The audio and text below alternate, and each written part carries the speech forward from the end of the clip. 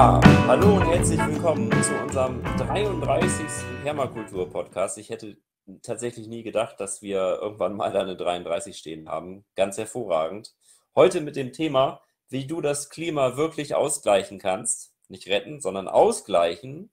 Und ähm, das ist so ein bisschen unser Thema, ja, was da alles so dranhängt. Und dafür habe ich heute drei, also aus meiner Sicht wirklich Fachleute dabei, also Leute mit ganz viel Wissen, die ihr auch teilweise schon aus unserem Podcast kennt, kennt aber einen neuen Gast haben wir dabei. Ja, und ähm, vorher möchte ich aber nochmal Danke sagen an euch äh, da draußen, an alle, die unseren Podcast gucken und uns so tatkräftig auch immer mit Kommentaren und wirklich gutem Feedback unterstützen. Da seid ihr natürlich heute auch wieder zu angehalten. Kommentiert, fragt, ja, also ich gucke dann immer rein und auch vielleicht ein paar von den Experten, die heute dabei sind, äh, schauen dann mal über eure Fragen drüber und ähm, gerne auch Anregungen geben, was noch so Themen hier in Zukunft auch äh, ähm, da sein dürfen. Ja, ich, ich freue mich ja immer über neue Themen. So sind ja auch meine Gäste hier zu uns gekommen.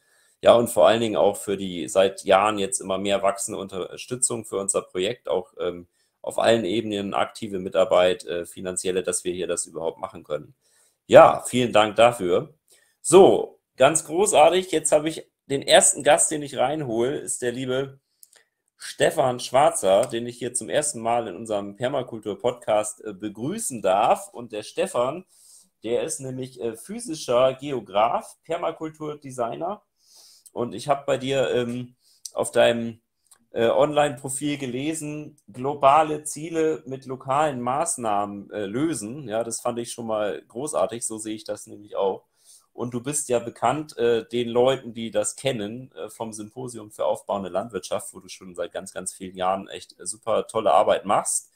Ja, und da äh, wirklich, ähm, wie soll ich sagen, Wissen in die Welt haust, äh, noch und nöcher, wie man wirklich aktiv hier was zum Positiven wenden kann auf ganz vielen Bereichen. Genau, ich würde jetzt noch mal kurz dein Buch gleich einblenden und du sag doch sonst noch mal ein paar Sachen, die ich vergessen habe, die du noch über dich erwähnen willst. Lieber Stefan, herzlich willkommen. Ja, danke. Hey, Daniel. Äh, schön, dass ich da sein kann. Was ich vergessen habe, nun, also äh, physischer Geograf. Den Geografen sagt man nach, nach, sie wissen von allem etwas, aber nichts richtig.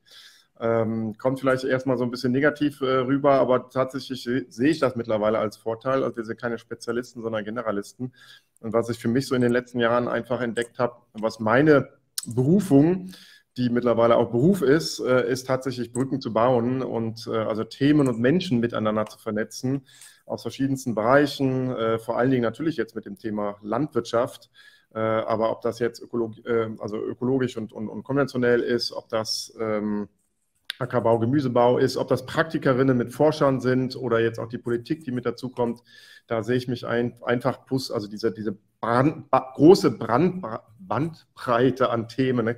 der ganzheitliche Ansatz, holistische Ansatz der Permakultur, der da einfach sehr stark auch mit reinspielt, ähm, der, der mich so an mein Geografiestudium auch äh, erinnert, beziehungsweise da ich auch äh, sehr gut ähm, andocken kann.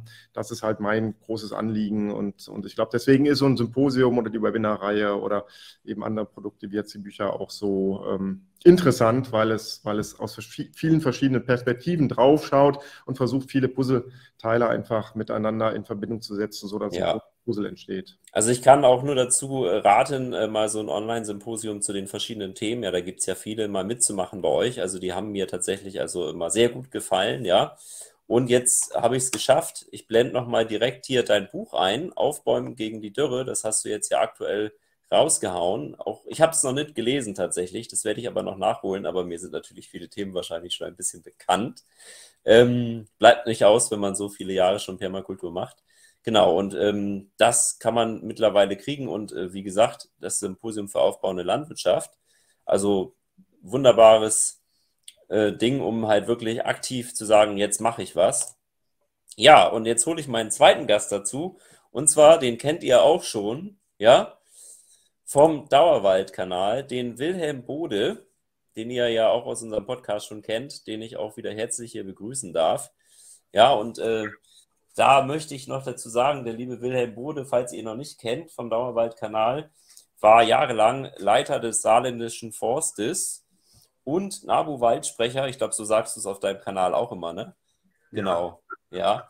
und äh, hat natürlich ähm, geschrieben, den ich auch schon äh, fleißig durchgelesen habe. Man sieht die ganzen Notizzettel, ja, den Dauerwald-Leitfaden, ja, wie man einen Wald nämlich so baut, dass der hm, gut ist. Da kommen wir dann dazu. Und natürlich, das bin ich jetzt gerade auch fast durch, die Jagdwende. Also noch ein paar mehr Bücher hast du geschrieben, aber so die zwei wichtigsten finde ich, denke ich, sonst musst du mir widersprechen, Dauerwald, Leitfaden und die Jagdwende. Genau, und im Herbst haben wir eine ganz tolle Veranstaltung. Da kommt ihr bitte, wenn ihr irgendwie Zeit habt, dazu mit dem Wilhelm Bode, wo er uns nochmal einen Vortrag hält über den Dauerwald und die Prinzipien, wo wir auch eine Waldbegehung machen mit euch, wo ihr dann Fragen stellen könnt, praxisbezogen. Ja, weil darum geht es ja. Es geht ja nicht, dass ihr das Wissen nur habt, sondern die ganzen Waldbauern da draußen auch wissen, wie sie es machen müssen. Herzlich willkommen, lieber Wilhelm. Dankeschön. Und da habt ihr mir gleich ein Stichwort geliefert mit dem Titel Aufbäumen gegen die Dürre. Das ist ja bekanntlichermaßen ein Baum-Sprichwort. Aufbäumen. Aufbäumen genau. mit Bäumen. Ja, denn eine der wichtigen Strategien sind natürlich die Bäume, um die Dürre abzumildern. So ist es. Und der Dauerwald ist dann natürlich auch eine ganz, also man könnte sagen, der beste Forst, den man machen könnte. Oder, naja, da können wir, aber ich sage der Dauerwald. So. Und jetzt mein ähm, letzter Gast, der Bernhard Gruber, den ihr auch schon kennt, der den ältesten Waldgarten im deutschsprachigen Bereich hat, den ich persönlich kenne. Also ich würde sagen, der älteste Waldgarten im deutschsprachigen Bereich. Und den Bernhard kenne ich jetzt schon einige Jahre. Ich persönlich habe auch meinen Permakulturdesigner bei ihm gemacht. Also wenn ihr da Bock drauf habt, dieses Jahr macht er auch wieder Kurse, glaube ich. Noch kann man teilnehmen. So. Genau, und der Bernhard hat auch, ähm, ja, was, was könnte man zu dir sagen? Also du äh, hast natürlich das österreichische Waldgarteninstitut gegründet, ja, also in Österreich sehr aktiv. Du bist natürlich auch Permakulturdesigner, wie Stefan und ich. Ja, und ähm, was mich so freut, das muss man auch einfach mal erwähnen, dass du ja schon in zweiter Generation diesen Waldgarten betreibst, ja, und die dritte jetzt, glaube ich, schon mitarbeitet und die vierte jetzt gerade geboren wurde, ja. Also das ist wirklich, das muss man einfach mal sagen, sowas, äh, dass es sowas noch gibt, dass sowas über Generationen weitergemacht wird. Genau, und ja, du, wir haben hier noch was liegen, das muss ich natürlich auch noch zeigen. Für alle, die ins Thema einsteigen wollen, das kriegen immer alle von mir um die Ohren gehauen, die mich fragen, was ist eigentlich Permakultur? Deine kleine Fibel als Einstieg wunderbar für die Permakultur, die kriegt man in Deutschland über uns, also über unseren Verein oder bei dir. Genau, und halt, das finde ich beste, nach wie vor muss ich einfach sagen, beste Waldgartenbuch im deutschsprachigen Bereich von dir, unser essbarer Waldgarten. Gibt man, kriegt man auch bei uns oder halt bei dir in Österreich, ja, also wo der Versand günstiger ist quasi, je nachdem, wo man lebt. Ja, lieber Bernhard, herzlich willkommen. Ja, danke schön, lieber Daniel. Schön dabei sein zu dürfen. Freut mich, ist mir eine Ehre. Genau. Ja, und jetzt, da wir alle zusammen sind, es ist mir ein Fest, darf der liebe Stefan einen kleinen Vortrag halten, in dem er genau zu dem Thema Aufräumen gegen die Dürre euch ein paar Eckpunkte gibt, warum das so wichtig ist und was man da alles wirklich auch machen kann, um ähm, hier einen positiven Drive reinzukriegen in verschiedenen Bereichen. Und dafür schalte ich dir jetzt mal deinen Vortrag frei. Auf geht's. Ja, vielen Dank. Genau, Aufbäumen gegen die Dürre, ähm, das äh, natürlich äh, doppeldeutig gemeint. Ja, das war nix. Warte. Ja, so, jetzt. Ja. Wir wollen ja dich sehen. Dann nehme ich uns erstmal raus und dann kommen wir später wieder dazu. So. Okay. Also das Aufbäumen gegen die Dürre, natürlich der Begriff ein bisschen doppeldeutig gemeint. Äh, wir müssen uns aufbäumen im Sinne von rebellieren oder äh, ne, da aktiv werden. Und ähm, eben, wie Wilhelm auch sagte, das, es geht um die Bäume als äh, einen essentiellen Spieler dabei. Ähm, ich will mal so ein bisschen das große Bild eigentlich dahinter aufzeigen. Also wir steigen so gesehen weit hoch ähm, in die Atmosphäre in, in, die Spielchen, die da seit äh, Millionen von Jahren oder so ähm, aktiv sind. Äh, so ein bisschen Metaebene ist es jetzt vielleicht erstmal. Und wenn wir mal schauen, so die letzten Jahre und dieses Jahr mal wieder auch, äh, bei uns hat es jetzt gerade nach sechs Wochen das erste Mal wieder geregnet mit immerhin 13 Liter, da sind wir sehr froh drüber. Diese letzten Jahre waren ja geprägt vor allen Dingen von zwei, drei, ich sag mal, Stichworten, die man nennen könnte. Also Sommertrockenheit, als eins. Erhöhte Temperaturen und zwar nicht nur die Lufttemperaturen an sich, sondern äh, für die Landwirte bzw. für die Pflanzen die, das Problem der erhöhten Bodentemperaturen auch, unter denen sie dann stark leiden, weil der Boden erwärmt sich einfach auch nochmal mehr. Und trockene Böden. Ähm, und äh, letztendlich diese drei Stichworte verbindet ähm, ein Thema, äh, nämlich Wasser, beziehungsweise so gesehen das nicht vorhandensein von Wasser. Ähm, klar, also das, das ist ein Thema der letzten fünf Jahre und es wird, so schaut es danach aus, ja auch zunehmend ein Thema sein. Äh, vielleicht da auch nur als Stichwort, dass ähm, ich mal gelesen habe von einem Wissenschaftler, der sagte, die Dürre in, in Deutschland wird über Spanien und Frankreich zu uns kommen. Und, und wenn ich mir anschaue, also von Spanien, das wissen, da, da wissen wir es ja von den letzten Jahren, Frankreich war jetzt letztes Jahr, vorletztes Jahr auch stark betroffen, aber vor allen Dingen dieses Jahr ja im Frühjahr von dieser sogenannten Winterdürre, ne, ein Wort, was es vorher so nicht gab. Äh, und, und jetzt ne, nähern wir uns, äh, zumindest in, in, in, manchen Bereichen in Deutschland, äh, zu gewissen Sinne diesen, diesen Zustand auch an. Also von daher ist das gar nicht falsch, ähm, wenn man sagt, naja, wir müssen nur nach Spanien gucken, um vielleicht zu schauen, wie es bei uns in 10 oder 20 Jahren auch aussehen könnte. Ne?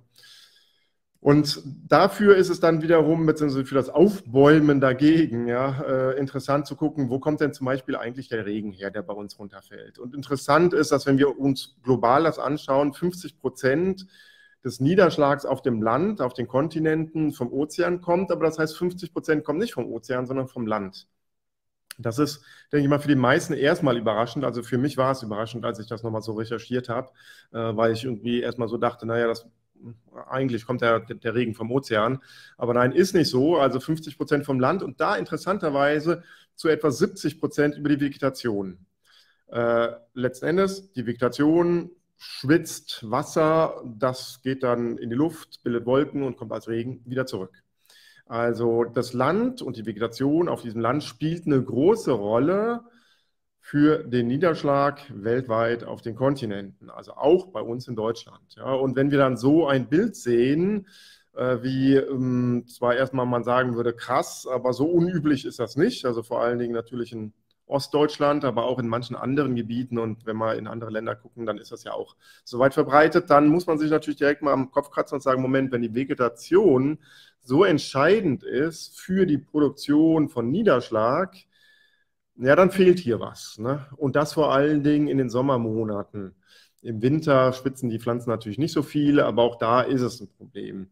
So, und wenn wir uns dann noch ein bisschen weiter angucken, was sind denn so die einzelnen Funktionen oder was passiert äh, in, mit der Vegetation, in der Vegetation, wenn wir uns den, so einen großen Baum mal anschauen, der kann im Sommer 400, 500 Liter am Wassertag, äh, Wasser am Tag verdunsten.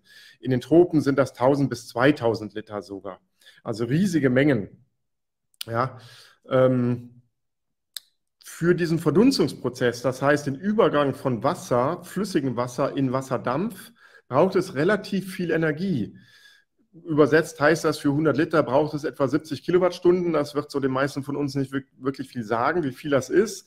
Also vergleichen wir das mal. Also die 400 Liter für so einen Baum, die, die Energie, die aufgewendet wird, und der Umgebungsluft entzogen wird und damit kühler wird, entspricht etwa fünf Klimaanlagen, die 24 Stunden lang on Power, Full Power laufen. Ja, also dieser Baum kühlt die Umgebung in den, ich sag mal, 10, 12 Stunden, wo er aktiv ist, weil nachts passiert da nicht so viel, wie fünf Klimaanlagen, die 24 Stunden la laufen würden. Also zehn Klimaanlagen, die etwa so über den gleichen Zeitraum laufen würden. Ne? Also enorm was so ein, ein Baum an Kühlungskraft mit sich bringt. Die Frage, so ein bisschen Moment, aber Schatten und, und, und wie ist das? Also, mein, meine Tochter kam bei, bei der Vorbereitung von dieser Präsentation und fragte so im Biergarten und unterm Sonnenschirm, da ist es ja anders, als wenn ich unterm Baum sitze und genau das ist eben dieser Unterschied. Ne? Wenn ich mir einen großen Biergarten vorstelle und da stehen nur die Sonnenschirme, dann verhindert das nur, dass die Sonnenstrahlung mich trifft, aber es wird nicht die Umgebung gekühlt. Während wenn da drei, vier große Linden stehen, dann wird eben die ganze Umgebungsluft gekühlt, zusätzlich zum, zum, Schatten, den die Bäume bilden, ja, wird die Umgebungsluft gekühlt mit eben dieser Kraft von jeweils ja, 5, 6, 7, 8, 9, 10 Klimaanlagen, die da aktiv laufen. So, und das ist nicht vernachlässigbar. Ja. Die wenn wir schauen, wie ist denn die Verteilung der Sonnenenergie, wenn sie bei uns auf vegetationsreiche Flächen trifft, dann gehen etwa 5 bis 10 Prozent dieser Sonnenenergie in den Boden, die erwärmen den Boden, der Boden gibt aber diese Wärme auch wieder ab, ja, kühlt dann vor allen Dingen nachts auch wieder aus. Ähm, 5 bis 10 Prozent dieser Sonnenenergie wird in die sogenannte fühlbare Wärme übertragen. Das ist das, also die Lufttemperatur steigt und das können wir halt spüren. Ne? Das heißt aber, der größte Teil, also 80 bis 90 Prozent bei, also je nachdem, wie vegetationsreich die Flächen sind, ähm, geht in die sogenannte latente Energie über. Das heißt, in diese Energie, die vom flüssigen Wasser in den Wasserdampf übertragen worden ist und dort gespeichert wird. Und diese Energie geht dann erstmal in andere atmosphärische Schichten und ist weg. Also deswegen auch dieser Kühlungseffekt. Ja. So, wenn wir mal schauen, wie sieht denn das auf dem Acker aus, dann ist das da etwas anders. Also auf der einen Seite haben wir etwa 10 bis 15 Prozent der Sonnenenergie, die den Boden wärmt. Ne? Und das können wir sehr, sehr leicht nachvollziehen, wenn wir im Sommer barfuß mal irgendwie über eine Wiese gehen und dann über ähm, einen brachliegenden Acker oder dann über den Asphalt, vielleicht noch ein bisschen schlimmer, ja, ähm, dann merken wir, der Boden ist deutlich wärmer. Das ist also schon mal der eine Effekt. Und dann ist der andere Effekt, dass der weitaus größte Teil der Energie 70 bis 80 Prozent in diese fühlbare Wärme übergeht und nur 10 bis 20 Prozent in die latente Energie, weil eben entsprechend wenig Wasser da ist, was verdunsten kann und entsprechend wenig oder keine Vegetation, die diesen Verdunstungsprozess auch aktiv steuern kann. Also das heißt, die, ähm, ne, stellen wir uns vor, es ist 35 Grad, so wie es jetzt die letzten Tage bei uns auch war. Äh, ich gehe raus auf einen Spaziergang, gehe raus auf den brachliegenden Acker. Bei uns ist gerade Getreideernte gewesen, teilweise ist gepflügt worden. Dann sind da nicht mehr diese 35 Grad, sondern ich spüre da eher die 40 oder 45 Grad. Es wird richtig warm. Also wenn ich vorher nicht geschwitzt habe, dann jetzt.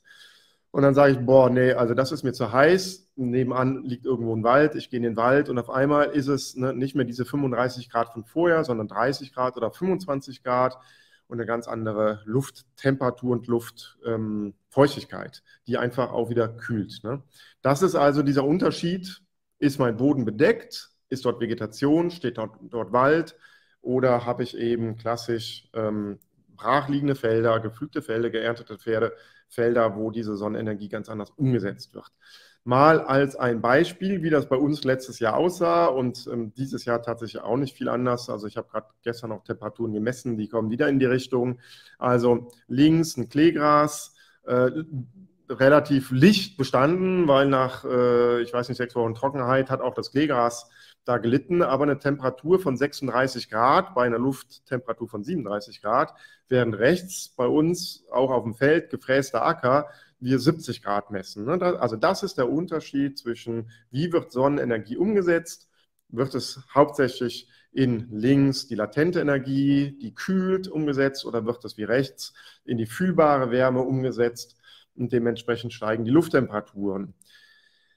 Ein Beispiel, was das noch ein bisschen illustrieren kann. Wir sehen hier so einen Löwenzahn und ein bisschen offenen Boden. Und wenn wir auf die Temperatur mal gucken, also oben ist ein normales Bild, unten ist eine hm, Infrarotaufnahme, ein Thermalbild, was die Temperaturen zeigt, dann sehen wir, dass dieser Löwenzahn irgendwo bei 13 Grad äh, ist und diese offene Fläche da oben liegt bei 18, 19 Grad. Ja, also auf kleinster Fläche locker 5 Grad Unterschied.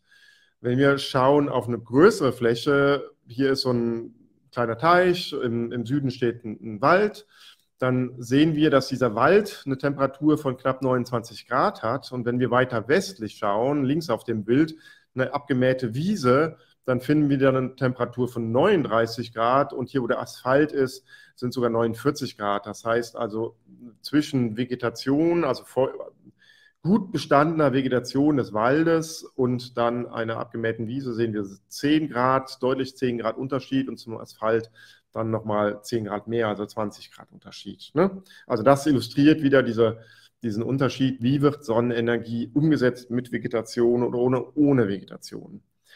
So, das ist ja interessant zu wissen, aber was sind die Konsequenzen denn davon? Was sind denn die Folgen? Und wenn wir da mal schauen und so ein bisschen unter den Blickwinkel, was könnte ähm, den Klimawandel mildern, dann sehen wir zum einen natürlich diese niedrigeren Temperaturen der bodennahen Schichten, also der, der untersten paar hundert Metern bis vielleicht auch einen Kilometer, ähm, die sinken durch eben diese Kühlungseigenschaft der Vegetation. Diese, dieser Wasserdampf steigt dann auf in höhere atmosphärische Schichten und bildet Wolken. Wolken verhindern, dass äh, Sonnenstrahlen eindringen können oder zumindest ein Teil von denen, was wieder eine positive Wirkung hat ähm, auf, ne, auf das, das Klima. Ein Teil, also wenn dieser Wasserdampf kondensiert, also wieder vom Wasserdampf in Richtung flüssigen Wasser gehen, Wassertröpfchen und damit diese Wolken bildet, dann wird die gleiche Menge an Energie wieder freigesetzt, die unten aufgenommen worden ist. Ein Teil dieser Energie diffundiert zurück ins Weltall. Und auch das wieder ein positiver Effekt in Sachen ne, Climate Mitigation, also die Minderung des Klimawandels dann führen diese Wolken dazu, dass ein guter Teil der einfallenden Sonnenstrahlung reflektiert äh, wird, weil so wie Schnee ähm, sind diese weißen Wolken, die eher ein bisschen in der unteren Atmosphäre gebildet werden, einfach super Reflektoren, äh, was wiederum positiv ist für, ähm, die, ähm, für den also Minderung des Klimawandels. Und dann natürlich, Wolken können Niederschlag bringen, was natürlich für uns auch positiv ist, beziehungsweise für die Vegetation. Gerade so in in diesen Zeiten des Klimawandels. Wenn wir dann auf der anderen Seite mal schauen, äh, was passiert dort, dann haben wir in den bodennahen Bereichen natürlich eine deutlich erhöhte Temperatur, was nicht positiv ist. Wir haben weniger Wolkenbildung, weil ohne Wasserdampf können sich auch keine Wolken bilden. Äh, wir haben potenziell eine Ausbildung eines Hochdruckgebiets, weil also diese Luft steigt auf und bildet dann ein, ein, ein größeres Gebiet mit hohem Druck, wo, wenn von, von, von der Seite, von Westen ja meistens bei uns, dann das Tiefdruckgebiet kommt mit dem schlechten Wetter, mit dem feuchten Wetter, dann kann dieses Tiefdruckgebiet aber nicht über das Hochdruckgebiet, es kann nicht unter dem Hochdruckgebiet, sondern es muss sich vor und dann an den Seiten des Hochdruckgebiets vorbeiquetschen, was wiederum heißt, dass der Niederschlag, der vorher auf deutlich größerer Fläche fallen würde, hier viel konzentrierter fällt, was ein Indiz eben auch dafür ist, dass wir zunehmend diese starken Niederschläge haben.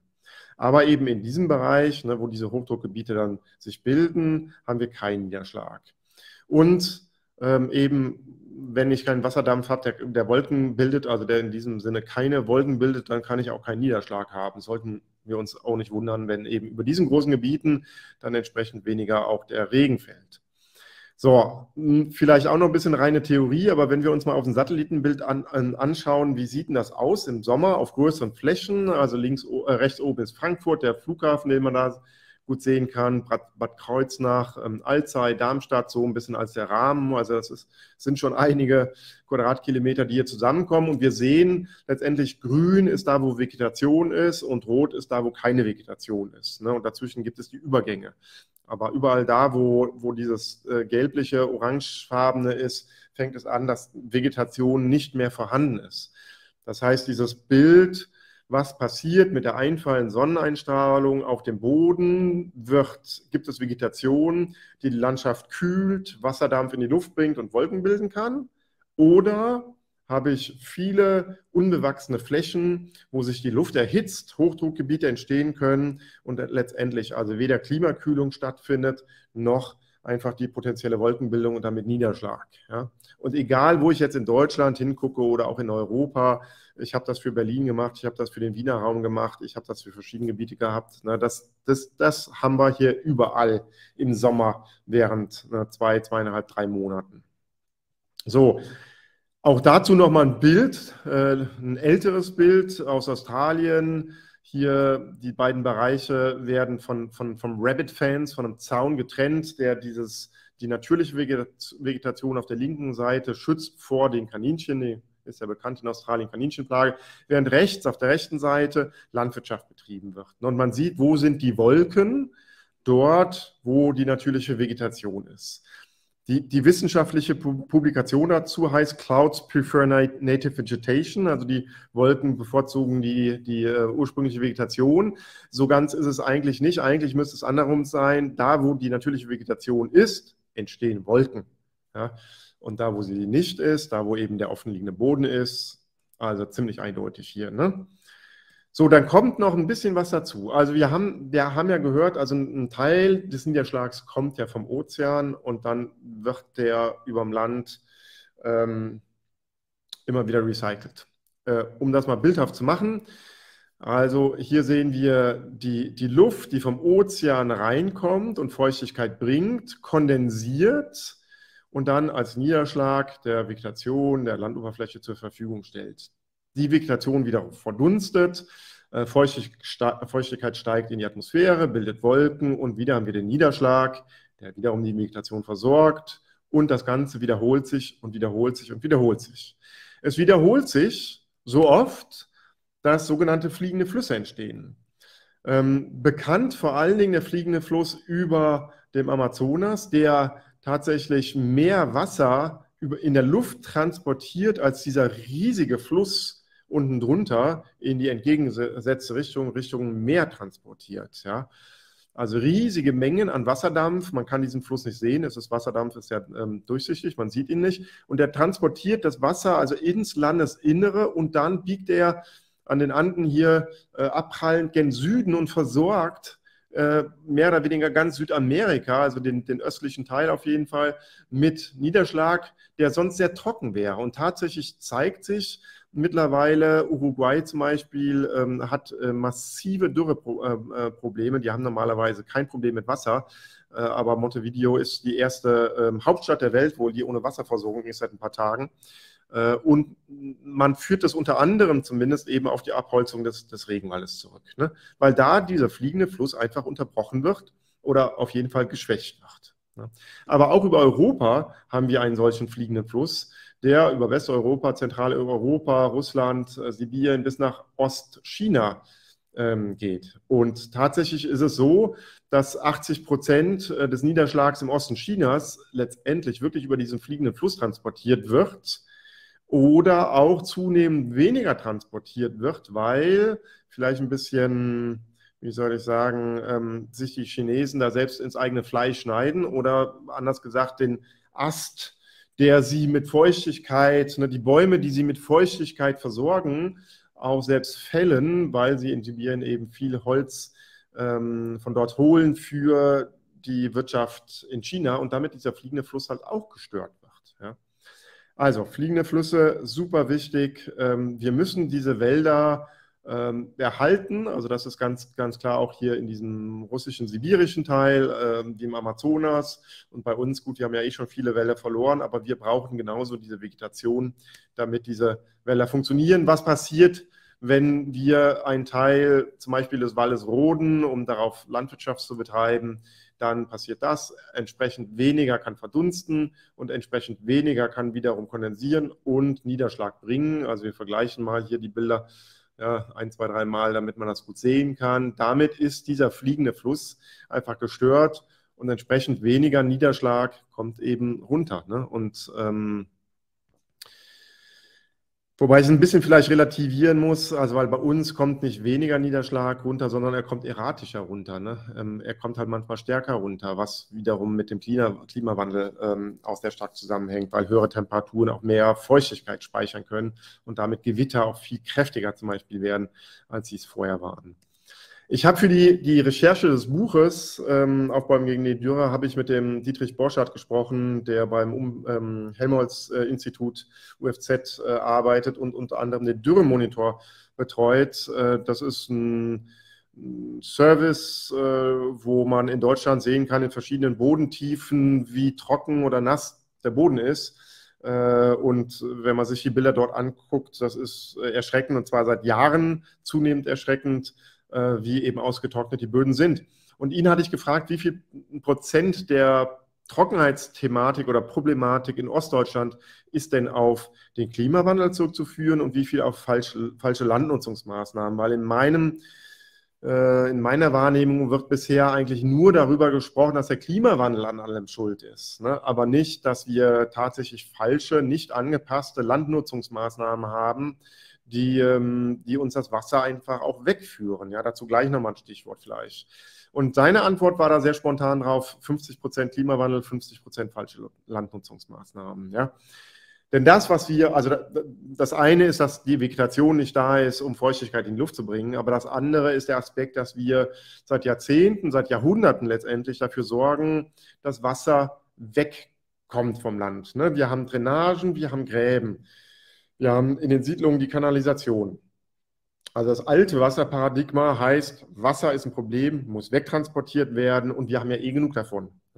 So dieses, dieser schnellere Wegtransport, also von den Feldern über die Drainagen in die Gräben, äh, Entwässerung ist auch nochmal, also von Mooren zum Beispiel auf Feuchtgebieten ist nochmal ein anderes Thema, aber äh, fließt da auch mit rein, führt dazu, dass Wasser, was normalerweise auf dem Land weiter zirkulieren würde, Funktionen auch hat, ja, äh, also die, die Vegetation mit Feuchtigkeit versorgen, den Boden nässen und dann eben in die Luft bringen und diesen ganzen Kreislauf, den ich, den ich erklärt habe, einfach füttern, ja, dass dieser, das stören wir damit zusätzlich. Also wir sorgen dafür, dass jedes Jahr ein gewisser Prozentanteil von Wasser, was auf dem Kontinent weiter recycelt werden würde, verschwindet. Und das heißt, wir trocknen das Land, den Kontinent immer weiter aus. Es gibt eine Untersuchung, die ist so, ich sag mal, nicht hundertprozentig ähm, die, etwas umstritten. Es, ist, gibt eine andere Untersuchung, die das dann zwei Jahre später etwas korrigiert hat. Äh, die, aber die Zahl finde ich sehr beeindruckend. In den letzten 20 Jahren hat Deutschland so viel Wasser verloren, wie im Bodensee gespeichert ist. Ja, die zweite Untersuchung, da, die hat das korrigiert und sagt, es ist ein Drittel davon. Ähm, aber selbst das ist eine Menge. Ja? Also das führt letztendlich dazu, dass unser Land und unser, unser Kontinent langsam austrocknet peu à peu, ne, kaum wahrnehmbar, aber dann doch immer mehr. Und dem müssen wir natürlich was, also da, da, das können wir ändern. Ja? Wir können aktiv dagegen steuern. Und ich sage mal, auf einer gro großflächigen Perspektive, also ich könnte jetzt eine, eine, Stunde äh, oder zwei Stunden über Möglichkeiten reden, ja, über Methoden, aber das ist jetzt nicht das Ziel. Deswegen stelle ich nur zwei Folien vor, wo so ein paar äh, Möglichkeiten äh, dargestellt werden. Ne, was, was haben wir denn eigentlich an Methoden in der Hand, um anders damit umzugehen? Und das erste ist also das Thema Wasser, Drainagen. Wir könnten Drainagen zum Beispiel auch nutzen, um Wasser zurückzustauen. Nicht nur um zu entwässern, ja, sondern auch zu bewässern, das Wasser zurückzuhalten. Genauso die Kulturwehre sind in Ostdeutschland sehr bekannt. Ähm, äh, in den letzten 20 Jahren halt total runtergekommen. Gerade fängt es wieder an. Also Gräben letztendlich, die zur, zur, Entwässerung benutzt werden, wo aber tatsächlich so Wehre sind, die man wieder äh, reaktivieren kann, um Wasser zurückzustauen. Biberdämme, ja, also in den USA gab es 400.000 Quadratkilometer an von Bibern erschaffenen Feuchtflächen. 98 Prozent der Biber sind getötet worden. Äh, man kann sich vorstellen, wie massiv diese Landschaftsveränderungen waren und wie massiv dieser gestörte Wasserzyklus und damit auch Energiezyklus ja, dann auch irgendwo Auswirkungen hat auf das lokale, regionale und globale Klima. Also Biberdämme, also die Biber an sich, ja, sind super, um Wasser zurückzustauen und natürlich freut sich da kein Landwirt, keine Landwirtin drüber. Aber ich glaube, da müssen wir als Gesellschaft einfach Lösungen finden. Staustufen, da gibt es verschiedenste sehr einfache Methoden, um auf kleinsten Flächen, ob jetzt hier wie im Wald oder auf, auf, auf Wiesenflächen, einfach 10 Quadratmeter, 20 Quadratmeter Wasser zurückzustauen, wenn es kommt um es langsam versickern zu lassen. Thema Grundwasser, ich habe es noch gar nicht angesprochen, ist ja auch ein Riesenthema, sinkende Grundwasserspiegel. Also auch da in die Richtung müssen wir arbeiten, sehen, äh, anlegen. Hier ein Beispiel aus dem Süden Portugals, Tamera, das Ökodorf, äh, wunderbare Seen, Seen, angelegt worden, die einfach Wasser speichern, in riesigen Mengen ja Wasser speichern können. Und damit so gesehen auch wie alle Maßnahmen hier doppelt helfen, nämlich gegen Hochwasser und gegen Dürre. Ja. Auen als ein Thema eben, wir brauchen diese Überflutungsbereiche, damit Wasser wieder langsam versickern kann, anstatt dass es direkt ins Meer weggeschwemmt wird und unterwegs dann noch zu Hochwässern, ähm, Hochwasserkatastrophen äh, führt. Und dann jetzt aus der Landwirtschaft noch ein paar Beispiele, einfach kurz genannt. Ähm, wie gesagt, auch da könnte ich viel länger drüber reden. Direktsaatverfahren, der Boden ständig bedeckt äh, halten und in diese Vorkultur wird dann ein kleiner Schlitz nur rein äh, reingerissen und dort Samen gelegt. Äh, das heißt, der Boden ist dauernd bedeckt, etc. etc. ist wunderbar. Untersaaten, also wenn ich jetzt rausgucke, okay, äh, die Bauern hatten natürlich einen schwieriges, schwierigen Frühsommer, auch gerade beim Mais. Aber trotzdem, das ist einfach das Problem, also vor allen Dingen beim Mais, aber nicht nur, dass da sechs Wochen, acht Wochen lang 80, 90 Prozent des Bodens unbedeckt ist und den müssen wir bedecken, ja, ähm, zum Schutz des Bodens, zur Ernährung des Bodenlebens, aber eben auch, was dieses Stichwort jetzt mit dem mit der Sonnenenergie und der Umsetzung angeht. Ne? Zwischenfrüchte, die wir brauchen, um den Boden zu bedecken, zwischen den Hauptkulturen. Agroforstwirtschaft ist endlich im Kommen. Ja? Wir müssen die Bäume zurück auf den Acker holen. Es gab ja auch früher ganz viele Hecken. Hier, das ist der Ansatz, ist nochmal äh, mehr mit Bäumen zu arbeiten. Äh, in Südfrankreich schon seit 30 Jahren äh, untersucht und bewiesen, dass das mehr Ertrag bringen kann und vor allen Dingen sehr stabilen Ertrag. Keyline-Design, Höhenlinien, parallele Bearbeitung, sodass das Wasser nicht zack auf schnellsten Wege bergab äh, abtransportiert wird, sondern auf der Fläche viel länger gehalten werden kann. Und Waldumbau, das ist natürlich hier das große Stichwort, äh, auch, auch, auch für heute. Also wir müssen die Wälder umbauen ähm, und den Wald tatsächlich genauso wie in der Landwirtschaft vom Boden her denken. Also in der Landwirtschaft versuchen wir vom Boden her zu denken wir brauchen fruchtbaren Boden, damit die Vegetation, ne, unsere Kulturen besser wachsen können und die Bodenfruchtbarkeit gesteigert wird. Und im Wald ist es tatsächlich genauso. Und ähm, das ist total wichtig, weil 30 Prozent der Fläche Deutschlands eben von Wald oder vor allen Dingen Forst, äh, also das heißt äh, Plantagen letztendlich ja ähm, belegt ist. Und äh, da müssen wir massiv eben in eine andere Richtung gehen. Und ähm, da wird der Wilhelm ja nachher Sicherheit noch ein bisschen was dazu sagen können. Und dementsprechend möchte ich hier einfach nur schließen mit so einem schönen Satz, slow it, spread it, store it, sink it. Ja, also wir müssen das Wasser eben äh, verlangsamen, also slow water in Anspielung auch auf Slow Food, es verteilen, es einfach ähm, zurückbehalten und es langsam versick versickern lassen. Oder ein bisschen so von mir, plant it, cover it, keep it. Also wir müssen alles bewachsen halten, wir müssen den, den Boden bedeckt halten und wir müssen dieses Wasser auf jeden Fall zurückhalten. So, das ist so ein bisschen mein Input, ähm, vielleicht ein bisschen länger als geplant, ähm, über die großen Zusammenhänge. Du, Stefan, wunderbar. Hat mir großen Spaß gemacht, dir zuzuhören. Ich hoffe, den anderen Kings genauso. Ich hole euch erstmal alle wieder dazu. Ja, ähm, ich möchte erst mal sagen, ich fand das so großartig. Ich habe ja schon einige von deinen Vorträgen gesehen. Du machst es, zeigst es so schön einfach, diesen Wetter- oder Klima-Wetterausgleich, ja, dass wir brauchen das Wasser wieder in der Landschaft. So einfach, du hast es so schön gezeigt. Die Lösungen sind doch wirklich simpel, ja. Das wollte ich einmal dazu sagen. Dann wollte ich noch verweisen, weil, der, äh, weil da heute keiner von da ist. Äh, da kann Wilhelm auch noch mal genau sagen, wie die heißen, nämlich dieses ganze Thema Auen äh, da gibt es ja so ein paar Fachleute, Wilhelm. Wie heißen die noch genau hier? Auch Kollege von dir? Naturschutz und Kunst in Leipzig. Nukla. Ja, genau. Mhm. Die Nukla, genau. Also die da wirklich sich für Auen ganz stark engagieren. Da guckt ihr bitte auch unbedingt mal rein bei der Nukla. Äh, der Professor Bernd Gerken ist da auch sehr aktiv und noch einige andere Leute, ja, also wo wirklich ganz viel gemacht wird. Genau, und jetzt wäre meine Frage an euch so ein bisschen, du hast es ja schon in deinem Vortrag gehabt, also dieses Thema was ist es, der Klimawandel oder die Landnutzung 50-50? Bei mir ist da so ein Henne-Ei-Problem im Kopf entstanden. Wie siehst du das, Stefan? Also ich würde ja fast sagen, man kann, wo kommt es jetzt her? Weil er sagte so schön, ja, 50% Klimawandel, 50% Landnutzung. Wenn ich mir das angucke, und das würde mich mal die Meinung von euch allen interessieren, wie das die letzten Jahrhunderte gelaufen ist, könnte man ja fast diese, sich fragen, Henne oder Ei, was war zuerst, ja? Oder wie seht ihr das? Also vielleicht, ich, ich schmeiße mich mal kurz noch rein, ähm, mhm. weil, weil ich glaube, die Frage ist so nicht zu beantworten. Ja? Äh, das kann man irgendwie nach, nach, meinem, nach einem Gefühl oder nach meiner, einer Meinung machen. Ähm, aber ähm, wie soll ich sagen, es, ist, ähm, es gibt da sehr unterschiedliche Meinungen. Ja? Äh, und ähm, ich, ich glaube, letztendlich spielt es gar nicht so die Rolle, sondern wir, wir haben eine Situation und, und äh, wir, wir haben große Einflussmöglichkeiten, so würde ich das sehen. Und die sollten ja. wir nutzen. Und es sind Win-Win-Win-Wins. Ja, also das Klima ist das eine, aber Biodiversität und Grundwasser und und und sind ja auch noch andere. Und, ähm, und, und also wer mehr wissen will, also in dem Buch, wir haben ja viele Quellenangaben drin, ne? der kann da ganz viel recherchieren in die Richtung. Ja. So, ja, warum, warum ich das erwähne, also ihr beiden gerne gleich auch noch was dazu, weil ich habe hier noch so ein Buch liegen, das kennst du, Stefan, sicherlich auch, von äh, deiner Co-Autorin, der Ute Scheub.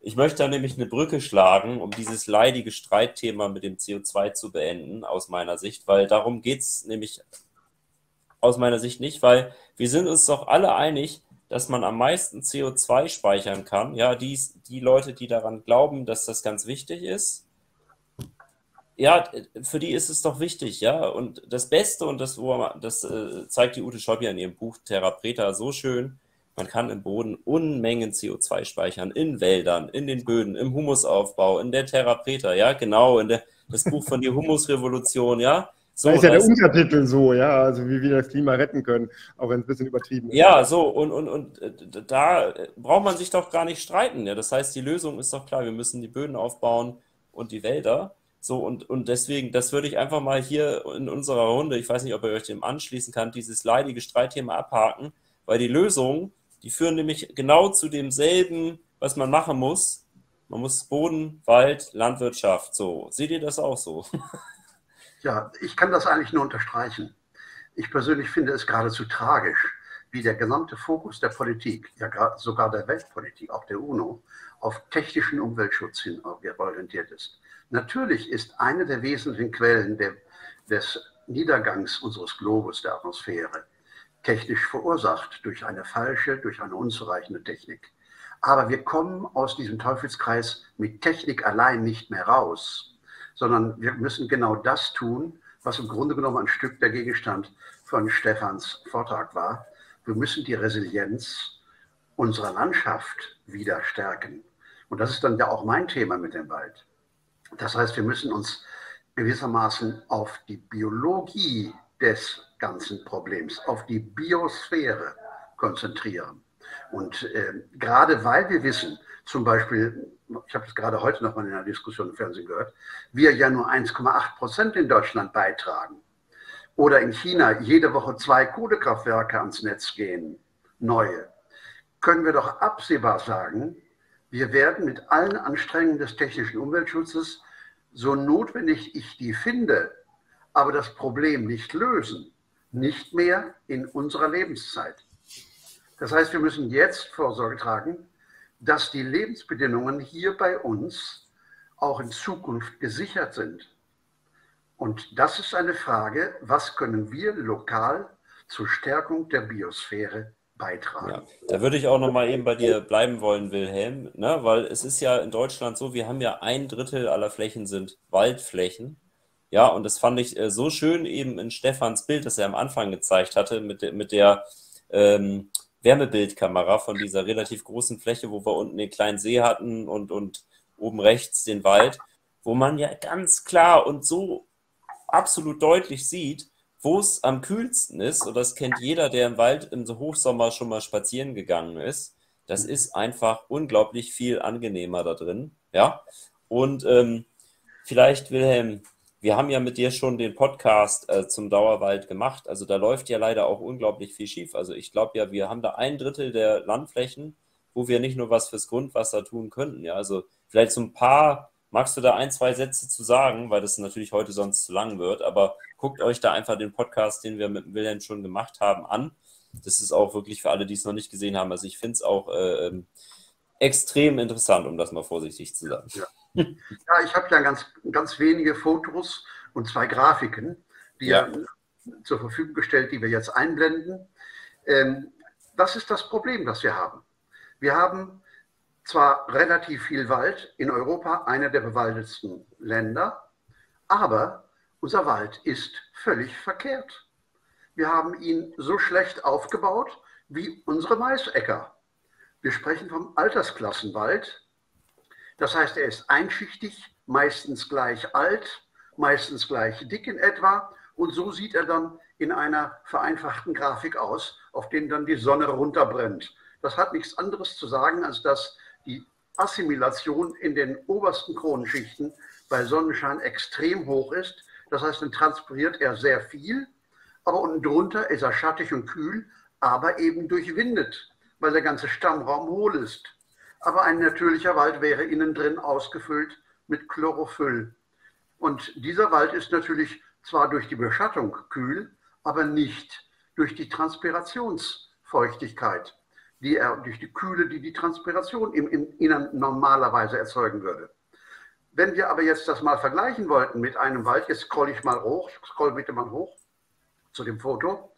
So sieht etwa oder so könnte ein Wald bei uns aussehen. Das ist ein Dauerwald. Und Sie sehen schon beim ersten Blick, der hat ein ganz anderes inneres Lichtspiel äh, gewissermaßen. Ich spreche dort von der Lichtökologie.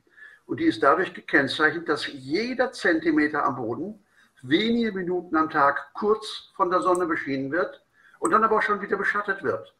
Und das führt dazu, dass der Waldboden ganz anders aussieht und dass vor allen Dingen der Wald sich von innen zu begrünen beginnt und damit der Wald innen mit Chlorophyll ausgefüllt wird. Und in dem Moment, wo er innen mit Chlorophyll ausgefüllt wird, dann gibt es auch innen eine Transpirationskühlung. Und die ist dann so groß, dass wir im Schnitt zwischen einem solchen Wald und dem Freiland zwischen 15 und 18 Grad Celsius Unterschied haben. Also, ja, also dazu ganz kurz, ganz kurz, Wilhelm, äh, vielleicht auch an Stefan. Das würde mich ja mal interessieren. Also allein die Kühlleistung von einem Wald, der so aussieht wie jetzt bei Wilhelm beschrieben, ein Dauerwald, das wäre ja auch, in, also allein in Kilowattstunden gemessen, du hattest ja dieses schöne Beispiel mit den, mit den Klimaanlagen, das wäre ja ein Vielfaches mehr als jetzt so ein hohler Altersklassenwald, ja, also. Ja, ja. Äh, ich, ich schaue gerade im, im, Buch, äh, haben wir das, ähm, ein Interview mit äh, Ludwig Pertl, der ja auch sehr stark für diese Dauerwälder geht und der hat das beziffert äh, für seine Kommune und ähm, also für seine Gemeinde und ich kann da gleich nochmal, wenn ich das äh, finde, äh, sagen, ähm, äh, also der, der, hat das errechnet in seinem Projekt ähm, Future, Future Forest, glaube ich, heißt es. Ne? Ja, sehr interessant. Wilhelm, bitte. Gut, vielleicht kannst du mal weiter scrollen. Ja, sicher. Schauen Sie, äh, schaut mal, und so sieht dann ein Dauerwald aus, dem, aus der Luft aus. Warum ist das Bild interessant? Es zeigt im Grunde genommen, dass das Kronendach nicht mehr in einer Schicht ist, sondern etwa 50 bis 60 Prozent der Bäume, die das Kronbach bilden, zwischen den höheren stehen. Das heißt wiederum windgeschützt sind. Und dann natürlich auch weniger transpirieren müssen. Das heißt, sie gehen mit den Wasservorräten des Oberbodens sparsamer um als die großen Bäume, die oben herausgucken. Und natürlich hat das auch zur Folge, dass beim Regen zum Beispiel der Regen durchfällt. Denn natürlich gibt es zwischen den Zwischenständigen, die man hier sieht, nochmal Kronenlücken, wo der Kronen durchfällt bis auf den Boden. Und natürlich sehen Sie hier, das ist ein Laubwald. Unsere Wälder sind ja zu einem großen Teil keine Laubwälder mehr. Aber Laubwälder sind natürlich um ein Vielfaches grundwasserwirksamer als Nadelwälder. Dazu kommen wir gleich. Scroll mal weiter hoch. Nehmen wir nun mal die Buche. Die Buche ist zum Beispiel durch, ihren, durch ihre Aststruktur so gebaut, dass bei starkem Regen das Wasser wie ein Trichter zum Stamm geführt wird und läuft dann am Stamm herunter. Dieser Effekt ist selbst bei begrünten Buchen im Sommer, bei Starkregen, so stark, dass an dem Stammfuß das Laub weggeschwemmt wird. Und Sie werden niemals oder ihr werdet niemals im Buchenwald eine Pfütze finden. Warum? Bitte noch das nächste Bild scrollen. Das ist noch ein, ein Aspekt, der das Gleiche bedeutet für den Winter. Laubwälder sind im Winter bekanntlich laubfrei. Dann fällt also der Schnee durch bis auf den Boden und dort bleibt er im Halbschatten des im Frühjahr sich allmählich begrünenden Waldes noch ein wenig liegen. Das heißt, er taut langsamer weg und kann langsamer in den Boden versickern. Wieder weiter. Und das ist der entscheidende und springende Punkt. Laubmischwälder und Laubnadelmischwälder haben einen anderen Humuszustand. Das heißt, diese Lichtökologie verbunden mit dem gemischten Laubblattabwurf, den sie haben, der das Edaphon das ist ein Sammelbegriff für die gesamte Bodenlebewelt, stachelt sie gewissermaßen an, ihre Arbeit zu tun. Und dann sieht man, dieses Bild habe ich gemacht im Juni in Kalebs Werk, dann sieht man, dass er aus der Ferne, das ist das obere Bild, der Waldboden grünlich aussieht. Und wenn ich vor die Füße runter gucke, an der gleichen Stelle übrigens fotografiert, also der gleiche Quadratmeter, gucke ich senkrecht runter, dann ist er bräunlich. Und was ich sehe, sind die wenigen Blätter vom Herbst des Vorjahres.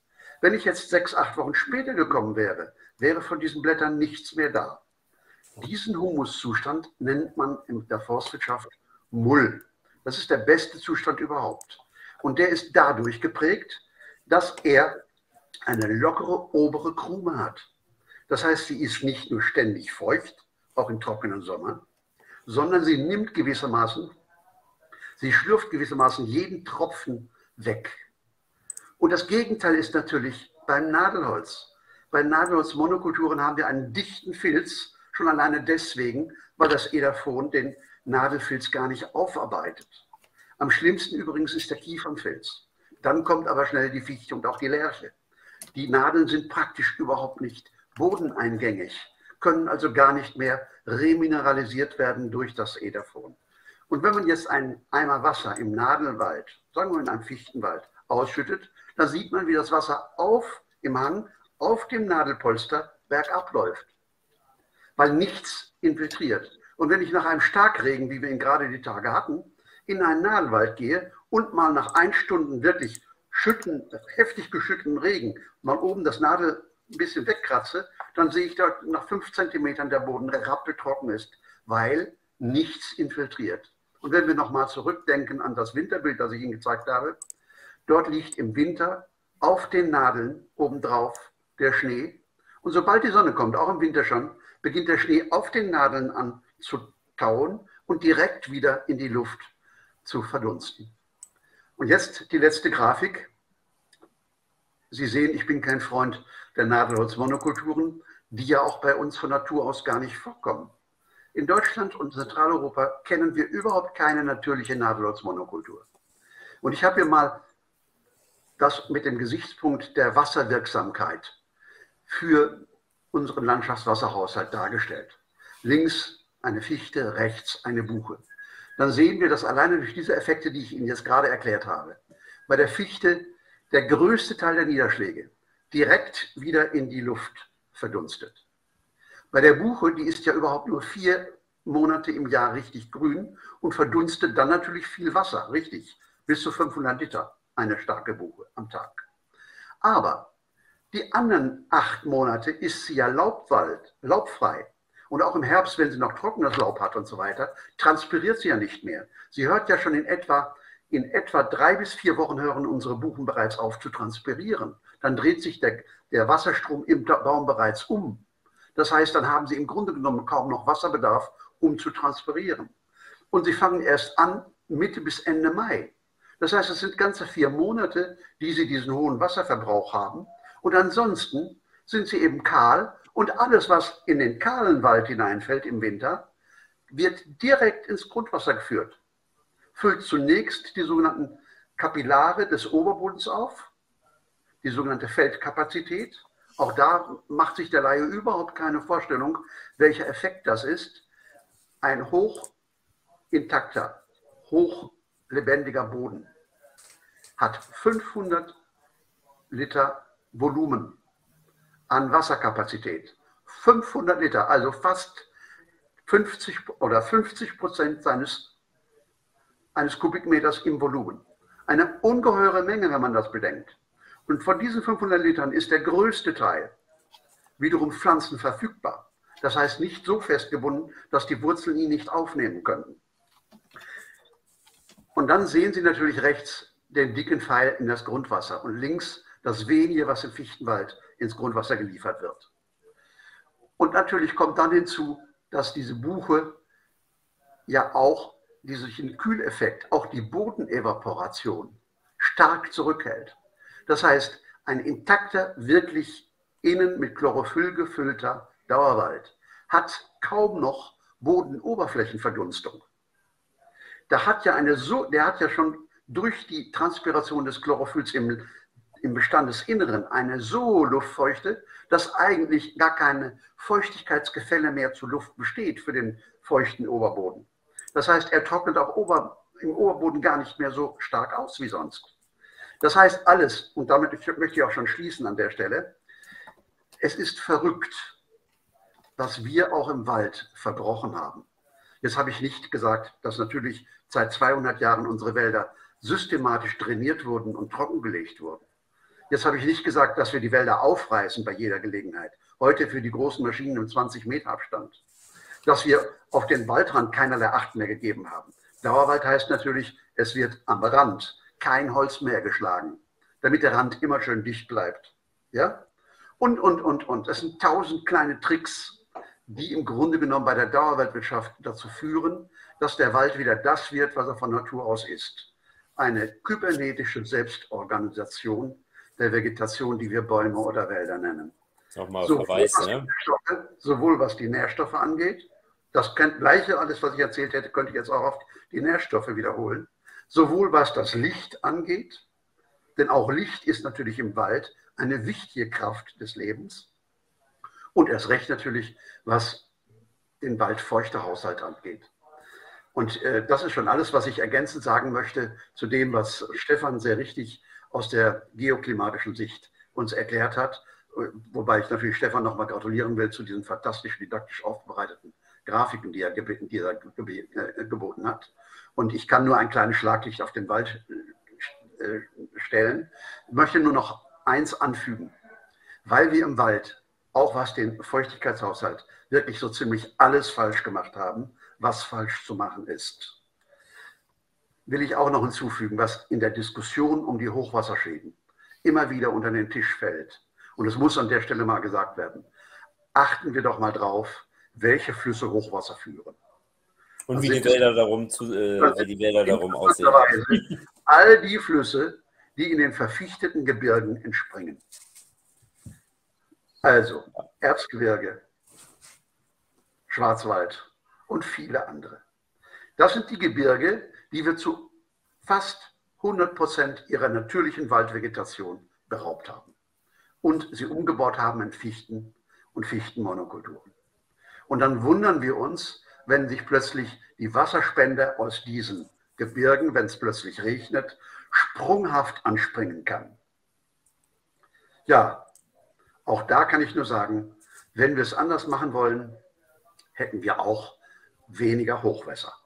Genau. Und es ist ganz leicht. Ne? Also 15 Jahre Im dauert das, so Wald umzubauen. Das ja. war ja schon das Ergebnis der Ausführung von Stefan. Im Grunde genommen eigentlich so naheliegend und alles so leicht, wenn man es mit dem richtig klaren Blick sich anschaut. Genau. Und jetzt würde ich gerne switchen zu Bernhard, denn Bernhard ist ja schon in zweiter Generation jemand, der das einfach nur weiterführt, ja, natürlich mit seinen eigenen Ideen und noch ganz vielen neuen Sachen. Denn im Endeffekt, da müssen wir eigentlich noch auch, wir, Wilhelm und Bernhard nochmal separates äh, Video irgendwann zu machen, hat Bernhard ja auch einen Dauerwald, aber einen essbaren, ja, den, äh, den essbaren Waldgarten, ja, nochmal hier ans Buch erinnert. Und da hast du uns auch noch eine Grafik mitgebracht. Bernhard, ich blende die mal ein. Genau, ich glaube, das ist jetzt das Kraterbeet in deinem, mal dahinter sieht man diesen fantastischen Wald, ja. Ja. Genau, das ist unser Kraterbeet, so der Übergang von unserem Permakulturgarten dann in den Waldgarten rein. Äh, bei uns ist ja das Gelände, das Gelände hat schon mein Vater ein Stück weit zoniert nach den Ideen der Permakultur, in Zonen eingeteilt, so die intensive Zone rund um die Häuser herum, eben mit einjährigen Gemüse, Salaten, Kräutern. Äh, Zone 1 eben, dann im Übergangsbereich von Zone 1 zu Zone 2 die Hühner und die bei uns auch eigentlich eine wichtige Rolle spielen. Äh, und dann in der Zone 2 drinnen dann der Waldgarten mit seinem Etagensystem, dem tropischen Regenwald nachempfunden. Eben mein Vater begeistert von Robert Hart. Und dann in Folge gibt es noch eine Fläche, das ist dann ein Agroforst, äh, war früher eben äh, Weidefläche mit Walnussbäumen. Äh, wir hatten Schafe darunter, nur mit den Schafen haben wir aufgehört, weil es einfach das Problem ist mit, mit den Auflagen. Beziehungsweise, ja, Fleisch essen ist eh nicht äh, unbedingt in diesen Mengen das Thema. Ab und zu, wenn nicht schlecht, äh, will nicht schlecht sein, aber äh, in diesen Mengen, so wie es die Menschheit jetzt macht, ist es ein großes Thema natürlich. Denn wir fressen uns selbst die Haare vom Kopf eigentlich mit, mit dem Fleischkonsum. Ja, und eben so hat er damals schon ein Stück weit äh, unsere Fläche unterteilt. Es gibt dann noch verschiedene andere Flächen, die nicht am Haus sind. Das ist eben so alt hergebracht schon, weil wir leben da mitten in der Welser Heide. Äh, die Welser Heide war eben, Heide sagt sie schon, äh, in trockenen Jahren ist es sehr, sehr trocken eben in einer Heide und es gibt dann wenig Gras für die Tiere. Früher war ja hier auch äh, Milchvieh, Schweine, Hühner, kleinstrukturierte Landwirtschaft und äh, jeder der Bauern hatte unten am ehemaligen Flussbett, sozusagen der Traun, am eiszeitlichen Flussbett der Traun, hatte jeder Grundstücke und dann ähm, praktisch in der nächsten Etage hoch hatte auch jeder Bauer dann noch Grundstücke, wo der Boden dann schon besser ist. Also es, es wurde damals schon so aufgeteilt, äh, dass man eben in den feuchten Jahren war es oben zu feucht, in den trockenen Jahren war es unten zu trocken, aber so hat sich immer ausgeglichen. Eben in den trockenen Jahren hat man von oben dann äh, das das gute Gras noch gehabt und wo es eben schon unten zu trocken war. So ist das eigentlich so ein bisschen aufgegliedert gewesen. Ja, und eben durch Grundstückszusammenlegung und so wurden alle diese alten Systeme irgendwie gestört, die eigentlich damals sehr sinnhaft waren. Ja, und mein Vater hat eben begonnen, Ende der 1980er Jahre diesen S-Bahn-Waldgarten anzulegen. Es ist sozusagen der erste geplante essbare Waldgarten im, in Österreich oder auch im, im, deutschen Sprachraum oder in Mitteleuropa, keine Ahnung. Äh, so ungefähr, mir ist noch kein älterer untergekommen, obwohl ich mich auch schon lange mit dem Thema auseinandersetze. Man, natürlich mittlerweile ist es so, dass, dass viele Leute zu uns kommen und sehen und sagen, ja, bei mir zu Hause schaut es auch so wild aus. Äh, ich habe auch einen Waldgarten zu Hause. Also er ist ihm gezielt angelegt worden. Und manche Leute werden auch enttäuscht, weil sie nicht das sehen, was sie erwarten. Eben der Waldgarten ist kein Wald, in den man eine Lichtung reinschlägt und dann dort drinnen einen Garten anlegt. So ist eigentlich der Waldgarten am einfachsten erklärt, eben was er nicht ist. Er ist äh, keine Lichtung im Wald, wo zum Beispiel ein Hügelbett steht und dann auf dem Hügelbett wuchert der Kürbis und rundherum stehen die Fichten. Also das ist kein Waldgarten, sondern wirklich dem Etagensystem des tropischen Regenwaldes nachgebaut. Und da ist natürlich sehr spannend auch eben das Lichtthema. Äh, in den Tropen hat man ja viel höhere Lichtintensität. Und aber wir in Europa, wir haben ja den den jahreszeitlichen Blattabwurf, mit dem wir auch sehr stark arbeiten. Äh, das kommt eben uns zugute, äh, dass sich einfach die bodennahen Pflanzen, während die, die Obstbäume oder die Bäume in der hohen äh, Kronenschicht oben noch nicht belaubt sind, holen sich die bodennahen Schichten die Sonnenenergie und werden eigentlich dann so im Laufe dieses Jahres komplett ausgeschattet, wie zum Beispiel die Maibeere, Maibeere, die Lonicera kamtschatica, kommt ursprünglich von den Kyrilleninseln und die hat an und für sich dort eine sehr kurze Vegetationszeit. Äh, deswegen trägt sie bei uns schon Ende Mai, Anfang Juni. Und jetzt so im Juli ist für sie eigentlich das Jahr gelaufen. Und genau mit dieser zeitlichen Staffelung arbeiten wir im Waldgarten. Äh, so geht es einfach mit verschiedensten Pflanzen dahin. Und, so kann man und ähm, das, das, was wir vorhin so schön gesehen haben bei, bei Wilhelm halt auch schon, diese, diese Schichtung, ja, das ist ja eigentlich genau das. Wir haben einen vollen Wald und damit halt auch wieder eine Kühlung von unten bis oben, weil in jeder einzelnen Schicht deines Waldgartens im Endeffekt ja Pflanzen vorhanden sind, die dann auch noch einen Ertrag liefern. Ja, und äh, auch wieder ein riesiges, also man könnte sagen, eine riesige Klimaanlage. Und was ich noch so spannend fand, also gerade diese Dürrejahre 18, 19, die ja wirklich dadurch, dass jetzt zwei aufeinander äh, direkt waren, die ich auch als sehr extrem empfunden habe, die waren ja bei dir eigentlich nur dadurch auszeichnend, dass ihr natürlich, klar habt ihr auch gegossen, aber dass ihr einen riesigen Fruchtertrag hattet und die Bauern drumherum eigentlich nichts. Das kannst du ja noch mal ein bisschen erläutern. Also da sieht man ja schon, was dabei rauskommt, auch als Ertrag in der Landwirtschaft, wenn man solche Systeme anwendet, ja. Nein, Im Waldgarten an und für sich haben wir nichts gegossen. Äh, ah ja. mhm. Eigentlich grundsätzlich nicht, außer ich sehe, dass irgendwo wirklich ein Strauch oder ein Baum sehr am Leiden ist. Aber da entschließe ich mich dann auch oft eher zu dem Schritt, dass ich wirklich einen sehr radikalen Sommerschnitt mache und einfach äh, stark Laub entferne. Und wir schauen natürlich auch, äh, dass es ein ausdauernder Waldgarten ist, denn gerade auch im, im englischsprachigen Raum, wo man sich mit Waldgärten sehr intensiv auseinandersetzt, äh, wird oft vom Klimaxzustand eines Waldgartens gesprochen. Und aber ein Klimaxzustand ist für mich so wie ein Stück weit Entropie sozusagen. Und, und, und ich will aber fern des Klimax sein, so wie man eigentlich fern der Entropie sein will. Also ich, ich schaue, dass ich natürlich mit, mit Rückschnitt äh, immer diesen Waldgarten einfach jung halte, dass er immer frisch und agil bleibt.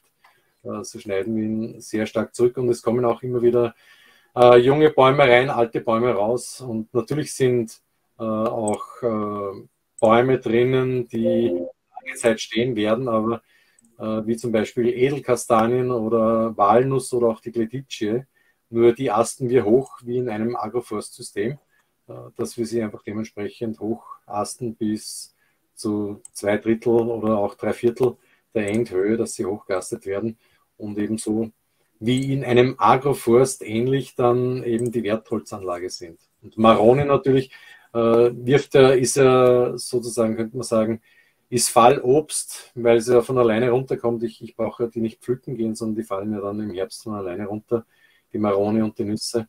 Darum kann ich die alle hochasten und schaffe so noch viel Lichtraum, der nach unten rein kann. Ja, ja also ich finde das, find das sehr schön. Ja. Sehr schön, was Herr Gruber gerade gesagt hat, dass ihm der Begriff Klimax nicht genehm ist dafür. Und dann hat er erklärt, er muss im Grunde genommen seinen äh, Waldgarten jung halten. Also im Grunde genommen in einer hochleistungsproduktiven Zone äh, der Wuchsdynamik. Genau das ist auch der Dauerwald. Das heißt also, wir sollten Klimax immer auch als das sehen, was es ist. Es ist ein thermodynamischer Endzustand, genau. wo im Grunde genommen die Assimilation in gleicher Größe wieder veratmet wird. Das heißt also im Grunde genommen ein eher unproduktiver Zustand.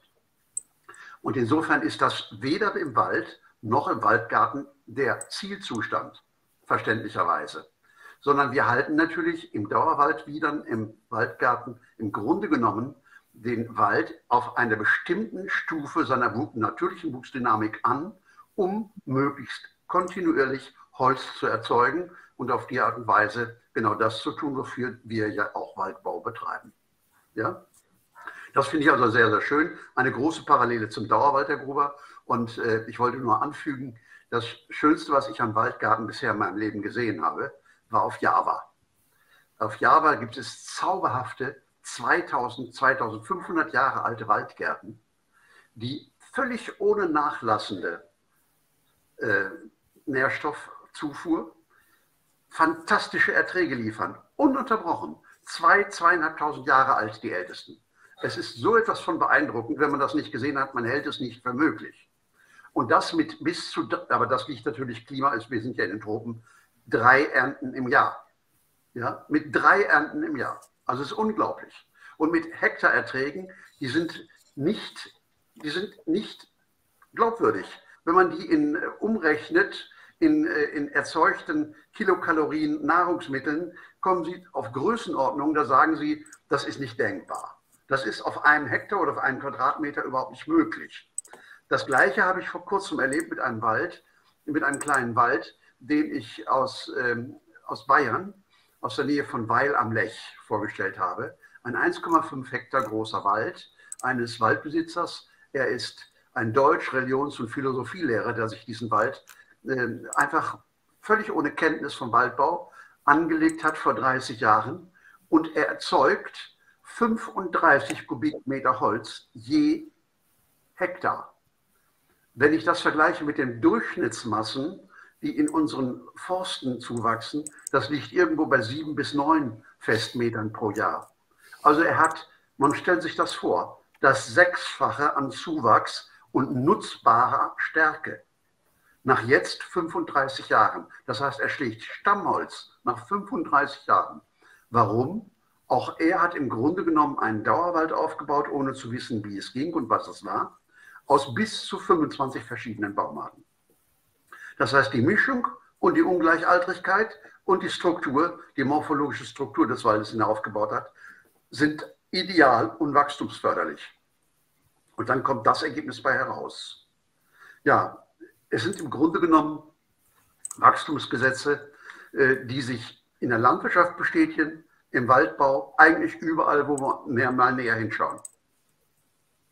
Ja, ähm, das finde ich halt auch das Spannende, dass man am Ende sieht, es ist noch viel mehr möglich, als man überhaupt gedacht hat und wie schnell vor allen Dingen sich diese Systeme auch erholen, wenn man sie in eine richtige, ja, in eine richtige Form bringt. Ja, und da können wir als Menschen ja wirklich sehr positiv äh, wirken. Stefan hat ja am Ende auch schon ein paar Beispiele genannt.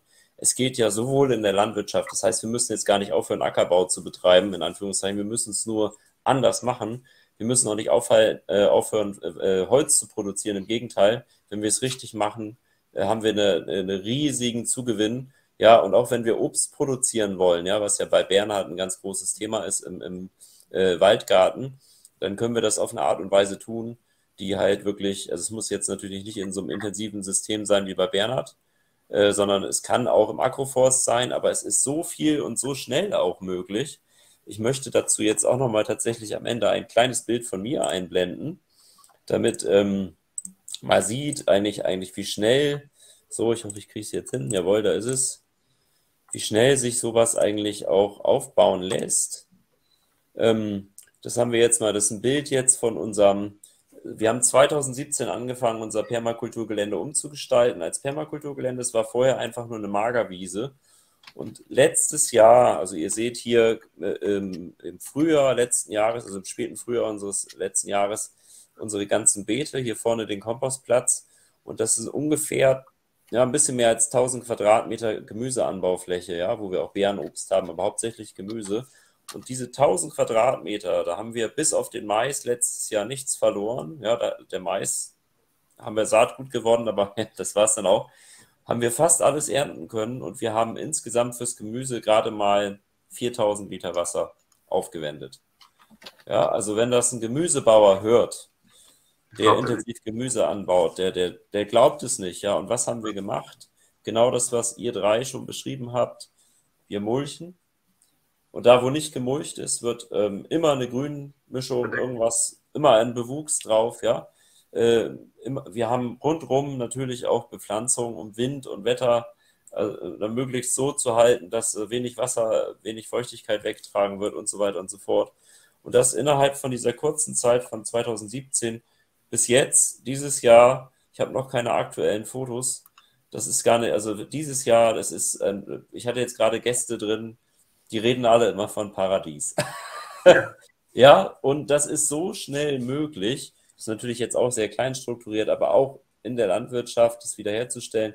Ich erinnere mich da immer an meinen ehemaligen Kunstlehrer, an den Kunstunterricht im Leistungskurs, der uns dann äh, die, die, ich glaube, das ist ja die Romantik, äh, 17. Jahrhundert und so weiter Bilder gezeigt hat, was wir für fantastische Landschaften damals hatten, was jetzt nicht heißt, dass wir jetzt wieder alle Flüsse unendlich mehr andern lassen müssen und so weiter, aber dass wir uns mal überlegen, wo können wir Natur wieder zulassen und damit sogar Produktivität steigern. Ja, oder halt auch sagen, wir steigern äh, äh, sehr konzentriert irgendwo Produktivität. Ja, das ist zum Beispiel in dem Buch von dem Herweg Pommeresche so schön drin. Da hat er ein Beispiel auch, ähm, wo jemand seine Fläche ganz drastisch verringert und die anderen Flächen dann nutzt, um mit Wurmkompost diese Fläche so produktiv zu machen, dass er am Ende sogar mehr Ertrag hat. Also da geht viel. Wir können auch wieder Flächen freischaufeln, wenn wir es richtig machen. Das wird, war jetzt so mein kleiner Beitrag, weil ich mal sagen wollte, es geht schnell, es geht einfach, es ist nicht kompliziert. Ähm, meine Frau hat letztens den Begriff geprägt, glaube ich. Ja, ich glaube, ich habe es von ihr, sie, es war so eine Überlegung. Früher die Landwirtschaft war arbeitsintensiv. Ja, die heutige Landwirtschaft ist energieintensiv und die Permakultur oder beziehungsweise die aufbauende Landwirtschaft, die ist wissensintensiv. Man muss vieles wissen. Aber ich kann euch nur sagen, es macht einen unglaublichen Spaß, dieses Wissen sich anzueignen, weil man ja gerade, wenn man ein eigenes Projekt hat, man wächst daran und es ist, es ist ja immer direkt im nächsten Jahr ein Erfolg zu sehen, wenn man wieder Wissen erlangt hat, das da hilft. Genau, das war so noch meins. Also ähm, ich hoffe, ja, das ist an dem Bild so ein bisschen klar geworden, wie schnell man das äh, machen kann. Ich gucke nochmal schnell nach einer Luftaufnahme. Die habe ich leider vergessen rauszusuchen. Daniel, ich möchte vielleicht noch ein Argument in die Runde werfen. Das verbindet, glaube ich, alles oder alle drei, die hier gesprochen haben. Äh, wir kämpfen im Grunde genommen gegen eine Chimäre, wenn wir über die Änderung unserer Landnutzungsqualitäten diskutieren. Das ist die Chimäre der klassischen Vorgehensweise, die behauptet, wir hätten bei einem anderen Vorgehen nicht genug Holz oder wir könnten die Weltbevölkerung nicht mehr ernähren und dergleichen mehr. Das ist eine echte Chimäre. Sie ist herbeigelogen. Genau das Gegenteil ist der Fall. Wir hätten mehr Holz, wir hätten besseres Holz und wir hätten weniger Waldkrisen. Wir hätten mehr zu essen, wir hätten vielfältigere und gesündere Nahrung und wir hätten weniger Kulturkrisen in der Landwirtschaft. Es muss doch geradezu jedem auffallen. Ich bin jetzt, ich werde dieses Jahr 76 Jahre alt und komme vom Land aus dem mittleren Sauerland. Jedes Kind, das so alt ist wie ich gewesen bin, in 15, 16 Jahren, weiß, dass es eigentlich gar keine Landwirtschaftskrisen gab. Wenigstens bei mir in meiner Heimat im Sauerland nicht. Wenn mal ein trockener Sommer war, das haben die Landwirte weggesteckt. Heute sind sie gleich vom Konkurs, wenn es mal drei Wochen oder vier Wochen nicht regnet. Oder wenn es regnet, mal vier, fünf Tage ineinander, ist die Ernte gleich wieder verdorben. Es ist doch verrückt. Wir haben uns so abhängig gemacht von den Zufällen unseres Wetters. Und das Gleiche gilt ja auch im Wald. Wenn mal ein Wind ein bisschen bläst, müssen wir Angst haben, ob der Wald nicht am anderen Morgen flach liegt.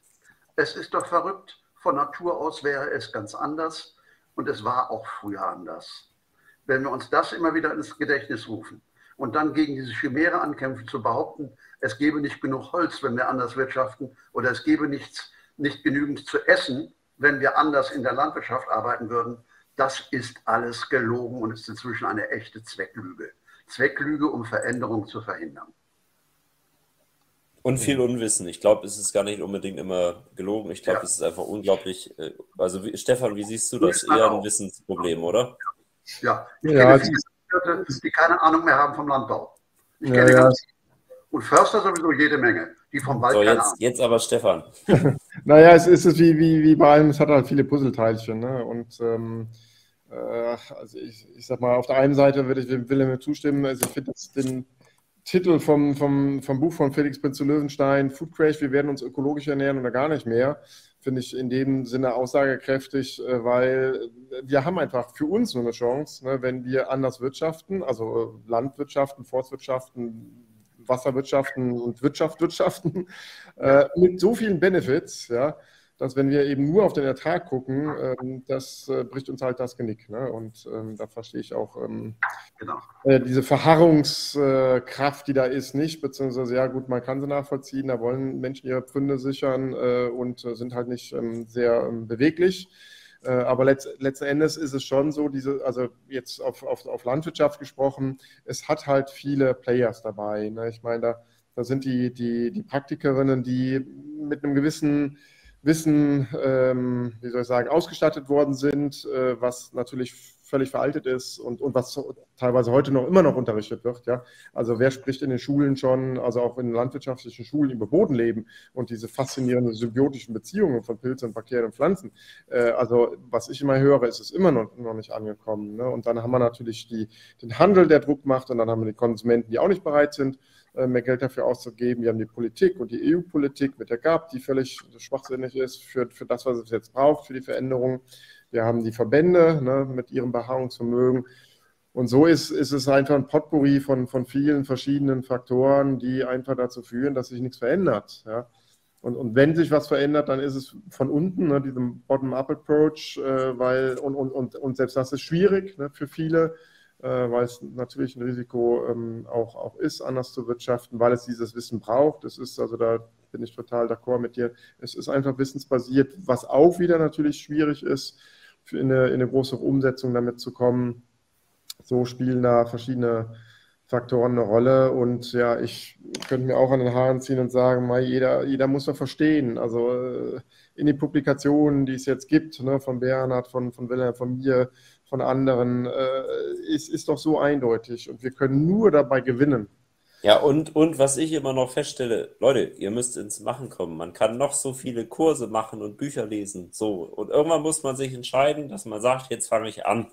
Und dann sieht das halt so aus, ne? Und zack, 2017, das ist sogar noch ein altes Foto, hat man dann Waldgarten rechts, links Gemüse und ich sage euch, ich kann das nicht alles ernten. Ich habe das Problem, dass meine aktiven Vereinsmitglieder nicht aktiv genug sind. Ich könnte noch Leute mitversorgen und das sind nur 1000 Quadratmeter Gemüse, also insgesamt 3000 Quadratmeter. Und wenn ich gucke jetzt hier beim Bernhard die Geschichte, wo das ja so, Bernhard, hast du das, kannst du alles ernten? Wahrscheinlich auch nicht, ne? Na, wir kommen mit dem Ernten nicht nach. Ich werde immer gefragt von Universitäten, kommen Studenten und sind immer die Anfragen und auch von Hochschulen, wo auch immer sind die Anfragen, äh, welchen Hektarertrag wir haben. Ich sage, unser Hektarertrag ist unbegrenzt. Das Einzige, was uns begrenzt, ist unsere Vorstellungskraft in diesem Fall. Und Arbeitskraft. Und Arbeitskraft einfach, ja, die Arbeitskraft beschränkt uns. Äh, ich habe ja man eh teilweise bis zu vier Praktikanten am Laufen, die, die eigentlich fa fast ja nur am Ernten sind die ganze Zeit. Äh, wir schauen auch, dass wir teilweise Blattmehle machen, dass wir Brennnesselmehl machen, wir ernten Samen von der Brennnessel, wir ernten Sämereien vom Baumspinat. Also wir nutzen nur einen Bruchteil des Ganzen, des großen Ganzen und kommen da gar nicht nach, auch jetzt, was gerade jetzt äh, Maulbeeren fallen runter und, und, wir kommen nicht mit der Ernte nach. Also es ist nicht nur Maulbeeren, es sind, sind die Kirschpflaumen, alles Mögliche. Also äh, man ah, könnte essen, man könnte stundenlang. Letzte Woche, glaube ich, habe ich, habe ich, glaube ich, ein Kilogramm Maulbeeren gegessen, so auf einem Sitz, einfach weil es, weil es so wunderschön reif und so wunderschön gut war. Was also, kosten die auf dem Markt? Keine gibt es nicht. Die sind nicht marktfähig, Maulbeeren. Die kriegt man nicht auf dem Markt. Musst du, musst du gleich essen. Ja, oder noch ein positives Beispiel hier. Unsere Sonnenfalle, da liegt so ein bisschen Gemüse aus dem Herbst dann drauf. Aber aus dieser Sonnenfalle, da haben wir äh, letztes Jahr, die ist nicht groß, haben wir 70 Kilo ungefähr Tomaten geerntet. So. Also ah, im Freiland. Im Freiland, ja. Und äh, da kann ich, ich sag, ich kann euch nur da draußen sagen, ob ihr Landwirt seid oder Privatmensch, legt einfach los, macht was. Ihr werdet natürlich Fehler machen, keine Frage, aber ihr werdet an diesen Fehlern wachsen und lernen, wenn ihr denn wollt. Ja, und nicht ärgern, sondern wie äh, die, die hier, deine Linzer Kollegin, Bernhard, äh, die nach Sonja, wie sagt sie immer, sie hat äh, gesagt, eine Freundin von ihr hat gesagt, und nächstes Jahr mache ich wieder was anders. Na, ich würde ne? sagen, nicht ärgern, nur wundern. Das wäre das Bessere. Ja, ja, ja, genau. Also da kann ich auch nur sagen, wer sagt, das geht in der Stadt nicht, den Permakultur-Podcast mit der Sonja bei uns auf dem Kanal gucken. Auch in der Stadt mit ein bisschen Garten, der Wahnsinn. Auch Dachbegrünung und so. Ste Stefan ist die ganze Zeit im Grinsen. Bin ich zu positiv? nee, nee, nee, nee, nee, nee. Ich finde ich, ich find das faszinierend, wie regenerativ, also wie, wie, wie kraftvoll, na, wie, wie ja, wie kräftig diese Regenerationskraft der, der, der, Natur ist. Also ich bin ja eher, ich sag mal, auf, auf Äckern unterwegs. So, ne? Meine Dimension ist ja, äh, ich sag mal, so die Permakultur eben auf, auf dem Kleinen. Äh, das habe ich ja so ein bisschen äh, beiseite und bin eher auf großen Flächen unterwegs. Aber ich finde das einfach faszinierend, ob es im Kleinen ist. Also ich habe ja auch einen Waldgarten, äh, jetzt nicht so, so groß wie jetzt Bernhard ähm, was, wo ich praktisch umsetze. Wir haben es bei uns mit Agroforst äh, und, und, und. Äh, das ist einfach faszinierend, äh, die Natur dabei zu begleiten, zu unterstützen, ja, ähm, und eben mit ihr zu arbeiten und nicht gegen sie, so ein typischer Permakultur-Slogan. Ähm, und ja, das ist möglich im, im, im Kleinen, äh, auf jeden Fall in der Stadt, auf dem Dach, äh, im, im, im Vorgarten, in der Vorstadt. Äh, und es ist möglich, natürlich, äh, ich sag mal, die Landwirtinnen dabei zu unterstützen, das im größeren Bereich auch auf 100 Hektar zu machen. Ne? Denn all, auch da, all das, was, was ihr ja auch gesagt habt, jetzt Bernhard mit, mit äh, Waldgartensystemen oder, oder Wilhelm mit dem, mit dem äh, Waldsystem, also Stichwort Agroforstwirtschaft, da fließt das ja alles zusammen. Und man kann ja wirklich Agroforstsysteme auf den Äckern bilden, die mehrreich sind Äh, da gibt es ja die ersten Projekte auch in Deutschland, wo, wo, wo einfach ne, die äußeren Reihe sind, sind die Fruchtsträucher, also ich sag mal so Johannisbeeren, dann gibt es eine Reihe, wo eher so die höheren mit, mit Schlehen oder Holunder und dann gibt es dann in der Mitte noch die großen Baumreihen. Äh, ob das jetzt eine Esskastanie, eine Walnuss ist oder ob es Wertholz ist, äh, ich sag mal, spielt da jetzt erstmal primär keine Rolle. Ne? Und dadurch entstehen ja unglaublich äh, resiliente und produktive Systeme, die sich, die, die gegenseitig so viel Benefit sich bringen. Äh, ja, go for it. Was glaubt, ihr, was glaubt ihr, wo die schönen Nussholzmöbel des Biedermeiers gewachsen sind? Als Feldreine und als Feldgehölze. Dort mhm. hat man die. Wir hatten keine Nussbäume im Wald. Das, das heißt, ist sehr schön, Wilhelm, dass du das sagst. Da muss ich ganz kurz was zu einschmeißen, weil ich sonst vergesse. Da wollte ich noch sagen, da gibt es ähm, hier die Obstbaumschnittschule.de, ja, mit dem Michael Grolm, den kennt der Stefan bestimmt. Ähm, mhm. Der macht da auch ganz tolle Vorträge, die auch immer mal wieder kostenlos äh, dort stattfinden, aber natürlich auch äh, äh, teilweise auch dann ja, wir brauchen Baumpfleger, ist, ist so mein Ding. Mhm. Und äh, wo er zeigt halt auch in einem Vortrag zu Alleen und äh, das eine heißt Baum- und Heckenlandschaften in Europa, wo er zeigt auch, wie das jetzt auch in Europa noch intakte Landschaften gibt, ähm, wo man sieht einfach, also allein die, was da überhaupt alles möglich ist, so. Ja. Was wir alles im Moment nicht machen, was unglaublich dumm ist. Ähm, ja, also wollte ich auch nochmal drauf verweisen. So, und das andere ist mir jetzt äh, wieder entfallen. ich komme gleich wieder drauf. Ja, genau. Ja, also es geht einfach so viel. Ja. Also im Grunde genommen alle Beispiele, die wir jetzt angesprochen haben, zeigen, dass es gar nicht so schwer wäre, aus unserer Landschaft wieder ein Paradies zu machen. Hm. Ein naturreiches Kulturparadies. Das wäre gar nicht die ganz große Herausforderung. Wir hätten das Wissen, wir könnten das und wir könnten das auch relativ schnell. Also viel schneller, als die Politik meint, wir könnten es beeinflussen. Und mit viel weniger Geld, als es geschieht. Wir haben ja heute einen denkwürdigen Tag, auf den sollten wir doch noch Bezug nehmen. Unbedingt. Im Europaparlament wurde ein Renaturierungsgesetz verabschiedet. Mit knapper Mehrheit gegen konservative Stimmen. Das war für mich ein, ich bezeichne mich auch als konservativen Menschen, ich, ich war entsetzt als ich feststellen musste, dass sich die EVP geschlossen gegen dieses Gesetz und sogar mit, mit wenig kooperativen Methoden versucht hat, die Verabschiedung zu verhindern sogar. Aber man hat sich nicht abbringen lassen. Es ist mit knapper Mehrheit jetzt beschlossen. Und jetzt kriegen wir in Europa ein Renaturierungsgesetz, das in der ersten Stufe 20 Prozent aller aquatischen und terrestrischen Biotope wieder renaturieren will. Und das ist erst der erste Schritt Geplant ist 50 Prozent. Das heißt, es ist ein Riesenschritt. Das heißt, wir müssen jetzt ran. Und ich denke mal, das wird unsere Bestrebungen stark begünstigen. Denn es müssen natürlich die, ich will mal so sagen, die klassischen Agrarier, die klassischen Kahlschläger, die klassischen Fichtenmonokulturbauer, die werden nicht, die haben jetzt die Pistole auf der Brust, sie werden sich jetzt ändern müssen ob sie wollen oder nicht. Es geht so wie bisher nicht weiter. Dazu wollte ich noch ähm, eine Sache sagen. Ähm, ich bin ja mal ein Freund von Freiwilligkeit. Für alle euch da draußen, das heißt jetzt aus meiner Sicht, da bin ich immer so, wenn ich das höre, da wurde jetzt was beschlossen.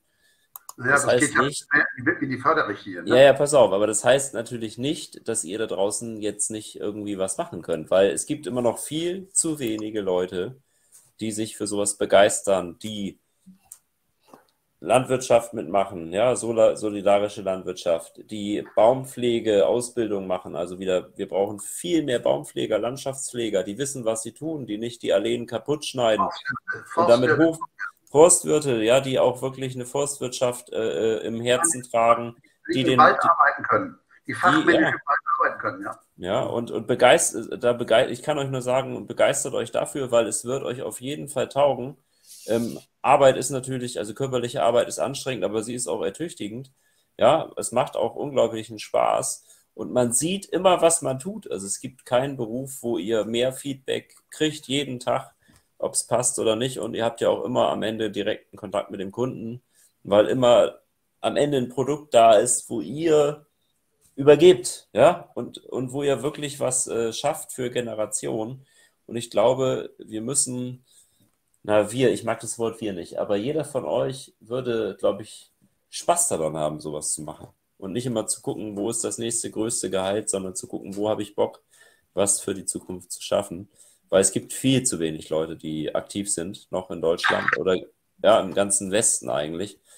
Äh, nicht hier Digitalisierung immer mehr, wo Milliarden reingesteckt werden. Ja, in Hessen wurden in den letzten Jahren kaum Baumpfleger ausgebildet. Ja, also das ist einfach, wo ich sage, das gibt es doch gar nicht.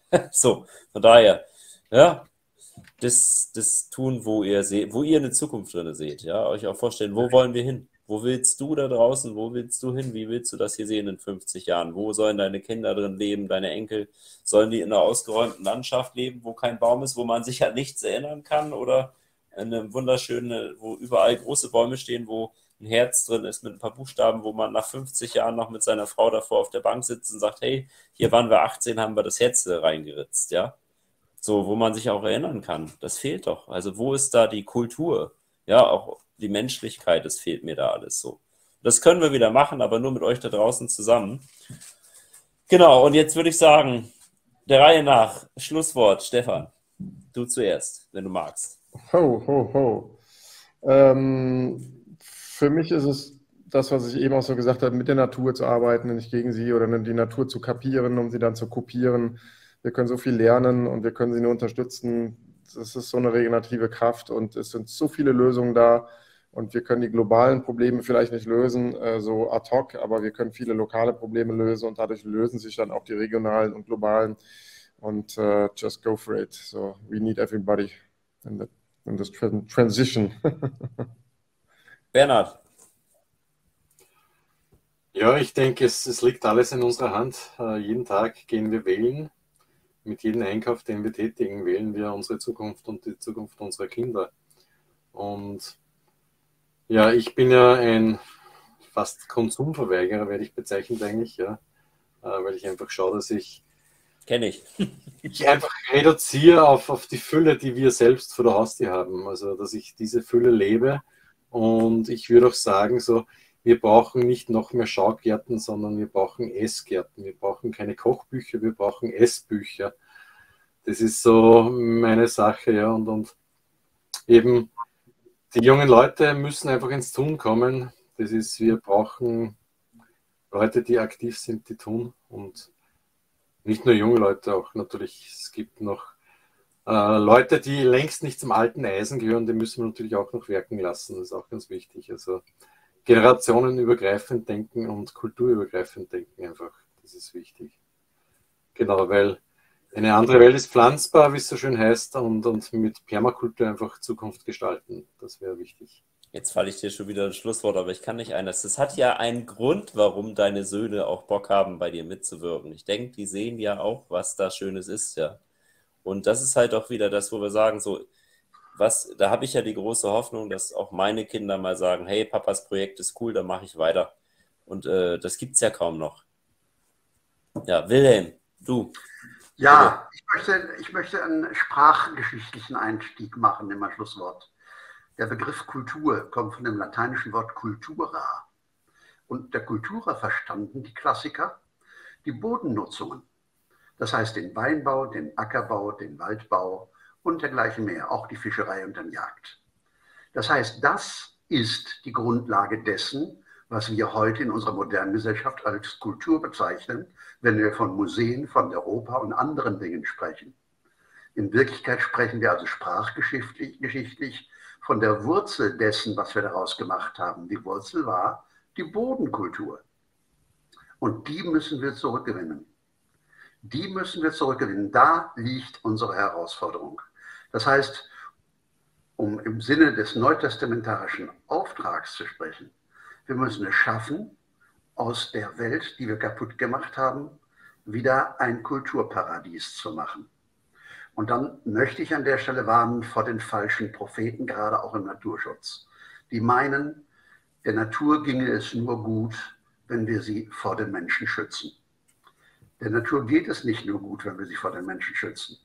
Sicherlich, die derzeitige Form unserer Landkultur lässt nichts anderes zu, als zu sagen, mach dich vom Ackerbauer, du machst nur alles kaputt.